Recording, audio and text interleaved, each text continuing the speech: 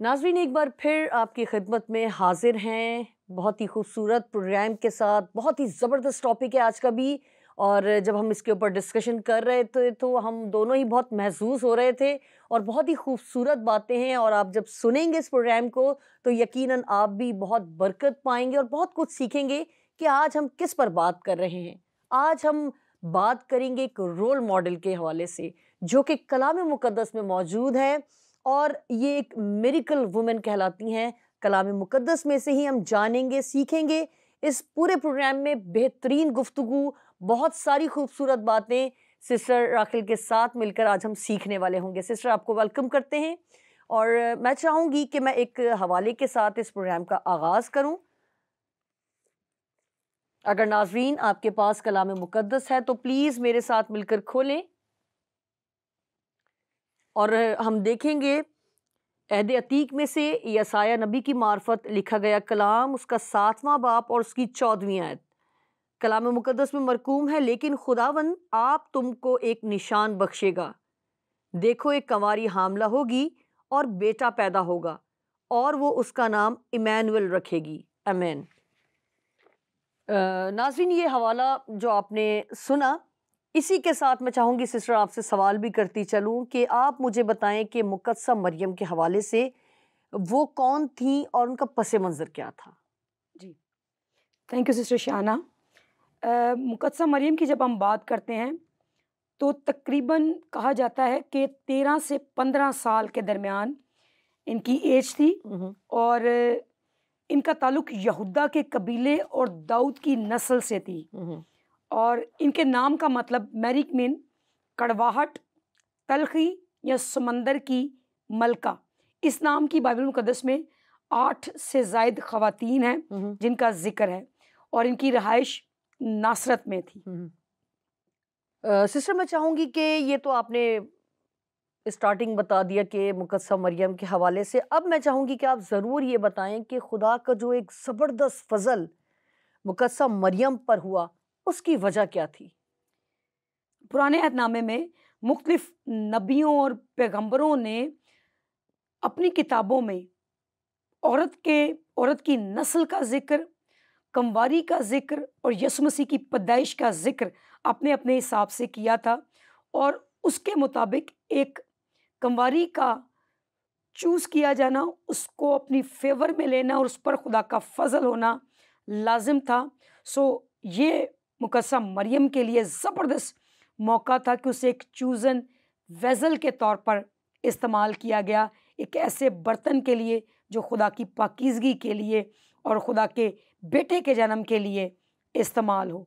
सो लुका एक छब्बीस में जब हम देखते हैं कि फरिश्ता जब मरियम के पास आया तो उसने उसे कहा सलाम तुझको जिस पर फजल हुआ। है फरिश्ते का किसी शख्स को सलाम करना बहुत बड़ी बात थी और तारीख में नहीं हम देखते बाइबल की तारीख में हम नहीं देखते कि फरिश्ते ने आके पैगाम तो बहुत सारे लोगों को दिया है लेकिन सलाम किसी को भी नहीं किया। वाहिद ये ऐसी मेरिकल वुमेन हमें नज़र आती हैं। कि जिसे सलाम पेश किया गया जिस पर फजल की नवीद को बयान किया गया और जिसके लिए कहा गया कि तुझ पर ख़ास फजल हुआ है। सो so, ये बड़ी वंडरफुल बात है और एक बात जो किसी ने अपनी किताब में कही थी मुझे बड़ी पसंद आई कि वर्जिनिटी इज़ वंडरफुल गिफ्ट कमारा होना एक ज़बरदस्त खुदा का तोहफा और ब्लेसिंग है और इसे बहुत कम लोग संभाल और समझ पाते हैं। अगर आप बैचलर हैं अगर आप सिंगल हैं तो ये खुदा की बरकत और बख्शिश है उस पाकिजगी को उस रूहानियत को उस ब्लेसिंग्स को संभाल कर रखिएगा मुकदसा मरियम की तरह ताकि आप खुदावन के लिए मुकद्दस बर्तन के तौर पर इस्तेमाल हो सके इसी हालत में। मैन बहुत ज़बरदस्त बात की। सिस्टर मैं चाहूँगी कि हम इस बात को भी ज़रूर मद्देनज़र रखें और उसका ज़िक्र करें कि अगर दुनियावी तौर पर हम देखें तो एक कंवारी के लिए, फरिश्ते के इस पैगाम को सुनना और फिर सुनकर उस पर आमीन कहना, बहुत बड़ी बात है। जबकि अगर आप दुनियावी तौर पर देखें तो अगर एक कंवारी को कहा जाए कि तू हामला होगी तो वो ऐसे जैसे करंट उसको लग जाता है कि ये तो इम्पॉसिबल बात है। जबकि मुकद्सा मरियम ने इसे सुना और इसे सुनकर कबूल किया तो इस पर ज़रा आप रोशनी डालें कि इतनी बड़ी बात और आपने एज जिस तरह बताई, बहुत कम उम्र। तो किस तरह से ये पॉसिबल हुआ और किस तरह से उन्होंने उसको कबूल किया? मैरी बिलीव द इम्पॉसिबल बेशक, बड़ी ख़ास बात है। मैं आपको एक और बात बताना चाहती हूँ। It's okay to be afraid of first अगर हम किसी इम्पॉसिबल चीज़ को सुनते या देखते हैं तो डरना वाजिब है। मुनासिब है और वो भी डरी कि ये क्यों कर होगा जबकि मैं मर्द को नहीं जानती। मरियम का डरना वाजिब था मुनासिब था और ये साइन भी है कि वो वाकई पाक दामन पाकिज़ा और मर्द से नावाकिफ खातून थी। किसी चीज़ को सुनकर इम्पॉसिबल चीज़ को सुनकर इनकार करने में और क्वेश्चन करने में ज़मीन आसमान का फ़र्क है। मुकदसा मरियम ने इस बात से इनकार नहीं किया कि ऐसा नहीं होगा या मैं ऐसा नहीं करूँगी या ऐसा हो नहीं सकता। क्वेश्चन किया उसने और क्वेश्चन ये था ये क्यों कर होगा जबकि मैं मर्द को नहीं जानती? सो बी फ्लेक्सिबल अपने अंदर फ्लेक्सिबिलिटी को रखें। अगर खुदावंद आपको कोई काम करने के लिए कोई सर्विसेज़ करने के लिए मौका देता है अपॉर्चुनिटी देता है तो इनकार करने में और क्वेश्चन करने में फ़र्क है। आप उसके बारे में जानें पॉसिबिलिटी को जानें क्वेश्चन करें कि ये किस तरह से होगा लेकिन उससे इनकारी मत हों। सो so, जब फरिश्ते ने उसे एक्सप्लेन किया कि रूल कुदस तुझ पर नाजिल होगा और खुदा ताला की कुदरत तुझ पर साया डालेगी इस सबब से वो मालूद मुकद्दस खुदा का बेटा कहलाएगा। तो मुकदसा मरियम ने इस बात को इस कलाम को एक्सेप्ट किया कबूल किया इस नॉलेज को लिया और अपने एक बात जो ख़ास मैं ज़िक्र यहाँ पर करना चाहती हूँ trust God in all things ये बड़ी मुश्किल बात है। मखसूस चीज़ों पर ट्रस्ट करना और बात है। तमाम चीज़ों पर ट्रस्ट करना एक फ़र्क बात है। मुकदसा मरियम की ये खूबी थी कि वो ना सिर्फ़ मखसूस चीज़ों में बिलीव करती थी खुदा का बल्कि तमाम चीज़ों में बिलीव करना जानती थी। हम अपनी पसंदीदा चीज़ों में तो बिलीव करते हैं कि खुदा हमें ये ये ये देगा लेकिन जो चीज़ें इम्पॉसिबल होती हैं जिन चीज़ों में शायद हमारा कुछ खर्चा आता है या हमें कुछ खर्च करना पड़ता है उनमें हम अपने बिलीव को छोड़ देते हैं या बिलीव करना तरक कर देते हैं। कसा मरियम की ये खूबी थी कि तमाम बातों में वो खुदा पर बिलीव करती थी चाहे वो उसके लिए कितना ही दुख तकलीफ़ या कर्ब का सामान क्यों ना लेकर आए। ये बड़ी ज़बरदस्त बात थी। और मरियम ने खुदा के प्लान के लिए जो कि बड़ा मुश्किल और डिफ़िकल्ट प्लान था इम्पॉसिबल प्लान था और मरियम के लिए तकलीफ़ और रिस्क का सबब था। उस प्लान के बावजूद उसने खुदावन से कहा यस आई बिलीव और मैं इस काम में उन तमाम चीज़ों को करूँगी जो तू मुझसे चाहता है और जो फरिश्ता मुझसे कह रहा है। अगर मुकदसा मरियम सहायफ अम्बिया और तारीख से नावाकिफ होती तो वो कभी भी यस नहीं कह सकती थी। हम जब कलाम की मुकम्मल वाकफियत नहीं रखते तो ही हम बहुत सारी बातों में नो कहते हैं। और बिलीफ सिस्टम को जो है पूरा काम अपनी ज़िंदगी में नहीं करने देते। लेकिन जब हमें कंप्लीट कलाम की वाकफियत होती है तो बहुत सारी चीज़ों को हम यस करने में देर नहीं करेंगे मुकदसा मरियम की तरह। वो साहिफुल अम्बिया से वाकिफ़ थी जानती थी कि खुदा का मंसूबा एक कमवारी के लिए है जानती थी कि खुदा का प्रोग्राम एक औरत से औलाद को लाने को है जानती थी कि उसने कहा है कि मैं तेरे और औरत की नस्ल के दरमियान अदावत डालूँगा। अगर इन बातों पर उसका बिलीव ना होता उसका यकीन ना होता उसका भरोसा ना होता उसे नॉलेज ना होता तो वो यस कह ही नहीं सकती थी।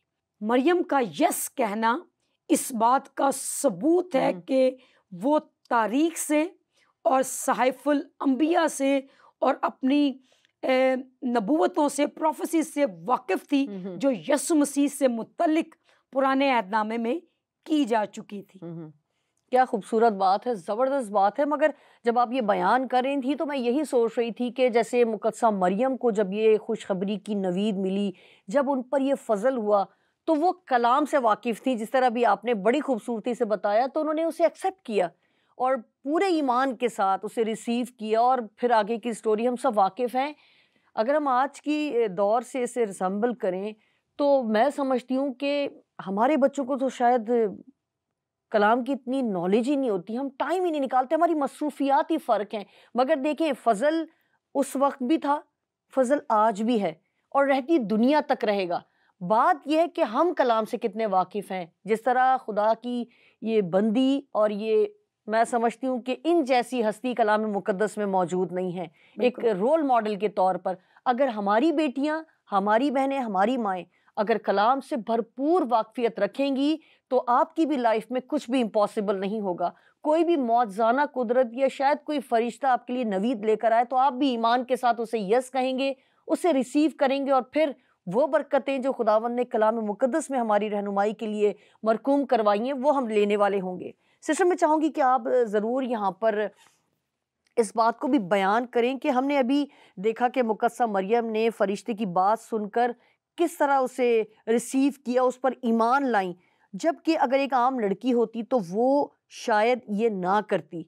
अगर कलाम मुकदस में हम देखें मुकदसा मरियम को देखा कि फ़रिश्ता उनके पास नवीद लाया और उनका रिस्पांस हमने देखा। मगर मैं चाहूँगी कि एक और कलाम मुकदस में हस्ती है उनके पास जब फ़रिश्ता आया तो उनका रिएक्शन क्या था? और जहाँ, यहाँ पर हमें मुकदसा मरियम एक आम लड़की के तौर पर नज़र आती हैं, जो सिर्फ़ कलाम से वाकफियत रखती हैं, और वो जो काहिन में जिसकी बात कर रही हूँ, वो ज़िक्रिया काहिन है। और खुदा के बड़े चुने हुए काहिन और बहुत ही आला मनसब पर फाइज हैं। इन दोनों के रिस्पॉन्स में जो फ़र्क है वो आप ज़रा बयान करें। मुकदसा मरियम को जब ये न्यूज़ मिली है तो वो क्वेश्चन कर रही है और फिर उसके बाद फरिश्ते की एक्सप्लेनेशन पर बिलीव कर रही है। हम्म। जक्रिया को जब कुर्बान गाह पर ये नवीद दी उसी तरह से फरिश्ते ने तो जक्रिया उस बात को बिल्कुल भी बिलीव नहीं कर रहा।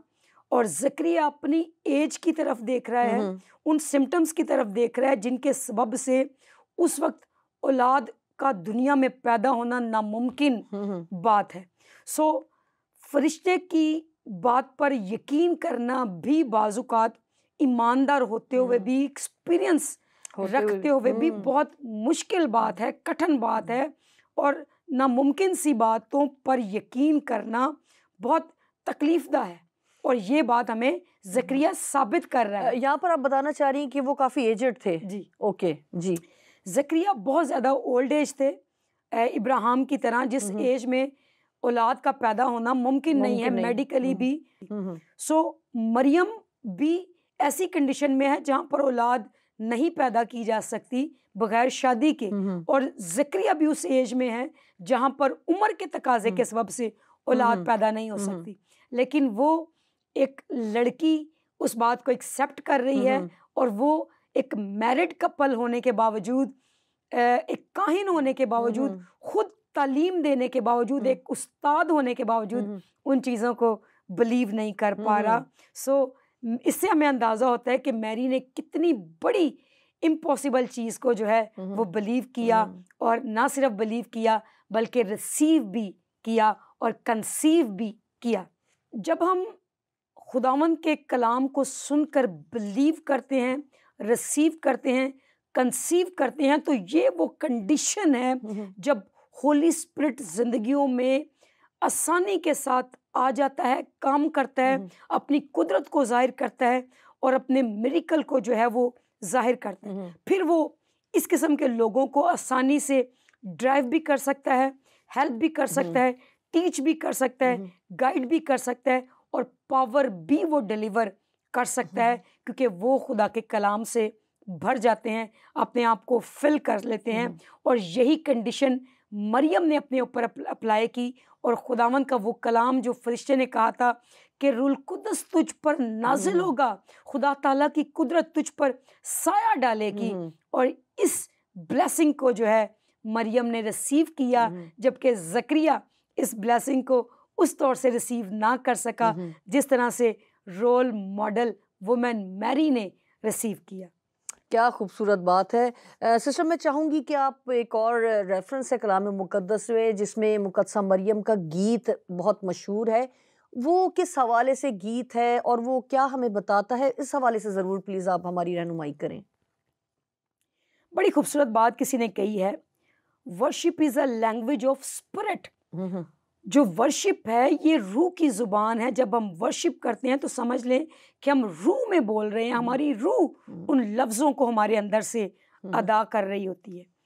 मुकदसा मरियम ने जब इस गीत को गाया तो कहा जाता है उल्मा बयान करते हैं कि तकरीबन बारह मरतबा उस गीत के दौरान उसने तारीखी वाक़ात का और साहिफुल अम्बिया में से ज़िक्र किया है।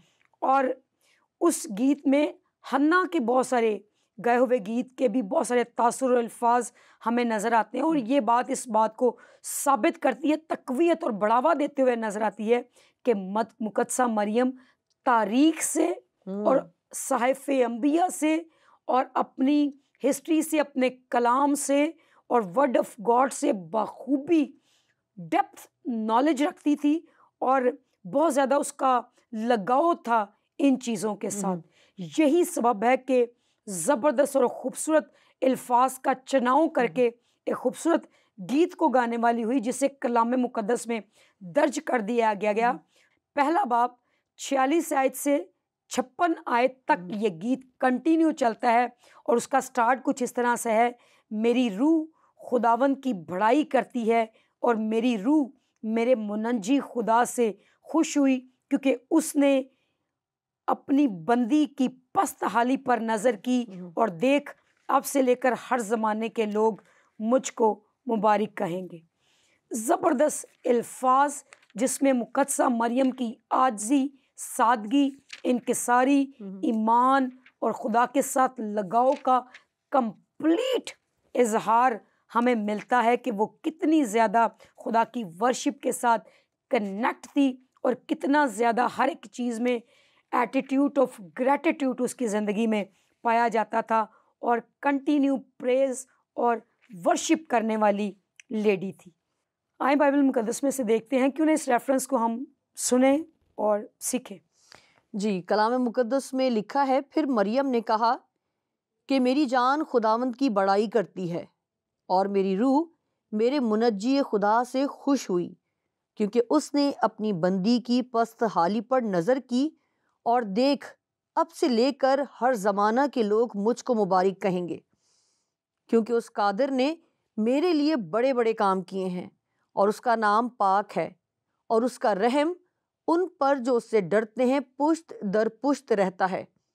उसने अपने बाजू से ज़ोर दिखाया और जो अपने तई बड़ा समझते थे उनको परागंदा किया। उसने इख्तियार वालों को तख्त से गिरा दिया और पस्त हालों को बुलंद किया। उसने भूखों को अच्छी चीज़ों से सैर कर दिया और दौलतमंदों को खाली हाथ लौटा दिया। उसने अपने खादिम इसराइल को संभाल लिया ताकि अपनी उस रहमत को याद फरमाए, जो अब्राहम और उसकी नस्ल पर अब तक रहेगी, जैसा उसने हमारे बाप दादा से कहा था। और मरियम तीन महीने के करीब उसके साथ रहकर अपने घर को लौट गई। अमेन। मुकदसा मरियम जिसकी हम बात कर रहे हैं मेरिकल वुमेन रोल मॉडल इसलिए बन सकी कि उसका लगाव उसका ध्यान उसका उसकी अटेंशन जो थी खुदा के कलाम की तरफ़ बहुत ज़्यादा थी। हम्म। वो खुदा के कलाम के साथ बहुत ज़्यादा अटैच थी और रागब थी। अगर हम चाहते हैं कि हम खुदा से मुआजात लें अपनी ब्लेसिंग्स को लें और बहुत सारे लोगों के लिए रोल मॉडल बने। तो खुदा के कलाम के साथ हमें मुकदसा मरियम की तरह अटैच होने की ज़रूरत है, समझने की ज़रूरत है, इस नॉलेज को अपनी ज़िंदगी में रखने की ज़रूरत है और जहाँ पर हमें अपनी सर्विसेज़ को, अपनी खदमात को पेश करने के मौके मिलते हैं, उन्हें पेश करें ताकि हम भी दूसरों के लिए मुकदसा मरियम ही की तरह रोल मॉडल बन सकें। अक्सर हम लोग सिस्टर यही सुनते हैं, लोग यही कह रहे होते हैं कि नहीं, अभी तो बहुत छोटी उम्र है और जिस तरह से हमने कलाम में से आज देखा कि किस तरह से उन्होंने कम उम्री में भी खुदा की बात को सुनकर फ़ौरन लब्बैक कहा, आमीन कहा। मगर हम लोग जो है ना, अपने बच्चों को कह लें, बड़े भी यही कहते हैं, पता नहीं, शायद अभी वक्त नहीं आया। नहीं, हम ये काम नहीं कर सकते। तो इन चीज़ों पर भी हमें फोकस करने की ज़रूरत है कि इन बातों को अपनी ज़िंदगी से निकालें, ताकि हम खुदा की आवाज़ को सुनने के आदि हों। खुदा आपसे किस तरह से और किसके ज़रिए से गुफ्तु करता है, ये खुदा ही जानता है। मगर जब आप खुदा में पैवस्त होंगे, खुदा की आवाज़ को सुनने के आदि होंगे तो यकीनन पाकरू आपकी रहनुमाई करेगा कि आप उसकी बात को सुने और उस काम को करने की हामी भरें तो खुदा आपको उस काम को करने का फजल भी देगा, हिम्मत भी देगा और कुत भी देगा। तो नाजरीन, मैं चाहूँगी कि कुछ टाइम हमारे पास रहता है तो सिस्टर मैं चाहूँगी कि आप ज़रूर बच्चों के हवाले से कोई बात करें कि जितने कम उम्री में मुकदसा मरियम ने इस बात को रिसीव किया तो इसके पीछे क्या मोटिवेशन थी, क्या तालीम थी, क्या उनकी तरबियत थी? जी, यहूदी आमतौर पर 12 साल के बच्चे को पूरी शरीयत जो थी वो हिफ्स करवा देते, ना सिर्फ़ बेटों को, बल्कि बेटियों पर भी वो इतना ही फोकस करते थे कि वो भी शरीयत का हिफ्स करा दें। और जब किसी शख्स को शरीयत हिफ्स हो जाती थी तो उससे कहते थे शरीयत ज़्यादा यानी सन ऑफ़ लॉ सो मुकदसा मरियम को मैं सोचती हूँ कि बारह साल की उम्र में तमाम शरीयत हिफ्स थी तमाम तर लॉ से उसे वाकफियत थी। यही सबब था उसके माँ बाप की यही तरबियत थी उसके उस्तादों की यही तालीम ने तरबियत ने उसकी ज़िंदगी में एक बड़ा काम किया कि वो एक छोटी उम्र में एक बड़े मंसूबे को एक खुदा के बड़े प्लान को रिसीव करने वाली हुई और उसके मुताबिक अपनी ज़िंदगी को चेंज करने वाली और अपनी ज़िंदगी में वाजिया तब्दीलियों बदलाव को एक्सेप्ट करने वाली बन सकी। क्या खूबसूरत बात की यहाँ पर आखिर में नाजरीन मैं ज़रूर आप लोगों के साथ एक बात शेयर करना चाहूँगी कि हम जब बच्चे छोटे होते हैं तो उन्हें बहुत पैम्पर करने की कोशिश करते हैं, बड़ा कंफर्ट जोन देने की कोशिश करते हैं, नहीं हमारे बच्चे को धूप ना लग जाए, नहीं हमारे बच्चे को ठंड ना लग जाए, हम आज बाहर ना लेकर जाएँ, ठंड बहुत है, गर्मी बहुत है तो इस तरह से हमारे बच्चे जो हैं, उन आसाइशों के आदि हो जाते हैं उन आ, कहना चाहिए ज़रूरियात के आदि हो जाते हैं जो शायद हमें उस वक्त उन्हें सख्ती के तौर पर देने की ज़रूरत है। छोटे बच्चे के हाथ में हम आजकल मोबाइल पकड़ा देते हैं क्योंकि वो हमें तंग कर रहा है। हमारे कामों को डिस्टर्ब कर रहा है शायद हमारी किसी एक्टिविटी में वो जो है मदाखलत कर रहा है तो प्लीज़ फोकस करें। अगर आप चाहते हैं कि आपके बच्चे भी किसी मरिकल का सबूत हों और उनकी ज़िंदगी से खुदा का जलाल ज़ाहिर हो तो हमें दुनियावी चीज़ों को उनके हाथों से लेकर उनके हाथों में कलाम मुकदस देने की ज़रूरत है उनकी सोचों को ख्यालों को खुदा के कलाम से आरास्ता करने की ज़रूरत है। लम्हा फ़िक्रिया है कि आखिर ज़माना चल रहा है और हम अपने बच्चों को किस तरफ़ जो है वो ढाल रहे हैं हम उन्हें किस डगर पर रवा दवा कर रहे हैं। सोचिएगा ज़रूर और फोकस कीजिए कि आने वाली नस्लें किस तरफ़ जा रही हैं। उम्मीद है कि आज के प्रोग्राम से आपने बहुत कुछ सीखा होगा, बहुत कुछ कोशिश की होगी अपने ज़िंदगी में रहनुमाई हासिल करने के लिए। इसी उम्मीद के साथ, इसी दुआ के साथ कि खुदावन हमें कलाम पर चलने और उसको सुनने और उस पर अमल करने की तौफीक दे। इजाज़त दीजिए, फिर मिलेंगे नए प्रोग्राम के साथ, नए टॉपिक के साथ। उस वक्त तक जहाँ रहें, खुश रहें, शादमान रहें और खुदावन में मसूर रहें। खुदा हाफिज़।